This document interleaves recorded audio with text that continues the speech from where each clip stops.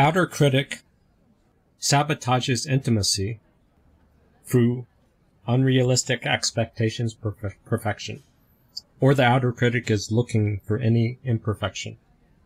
And the outer critic is projecting an expectation that you deserve safety. You go into a place, you just expect safety. Safety isn't because you develop and cultivated long-term relationships.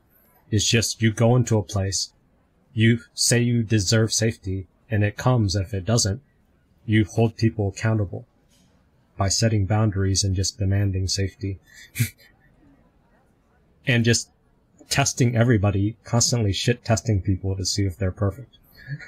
That's how the outer critic sabotages intimacy. But perfection and safety is something that is cultivated, that's nurtured, that comes out of relationships that are healthy.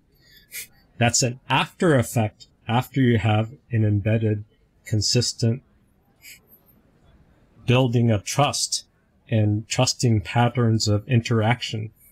Then you have the reward of safety and perfection. You're going towards more perfection, perfected relationship because people are consistent with each other, which develops trust. And then you have patterns of interaction. So people are familiar and you trust people's patterns.